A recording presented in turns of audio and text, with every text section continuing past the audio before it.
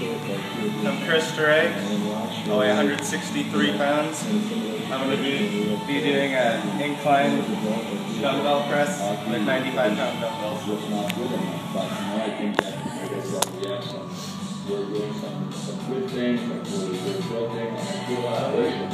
You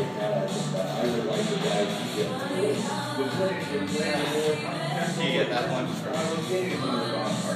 but they're having trouble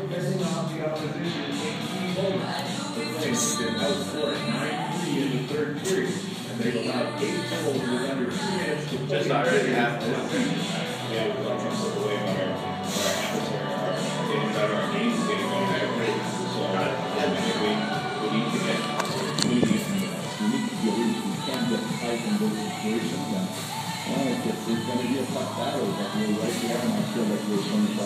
More production from the Flames top line. We give Calgary a little more wiggle room since they were reunited two games ago. Alex Mike Cammalleri, and Glenn are a combined line of six. Cammalleri and are still on the season, despite a number of great chances. That's it, folks. Not.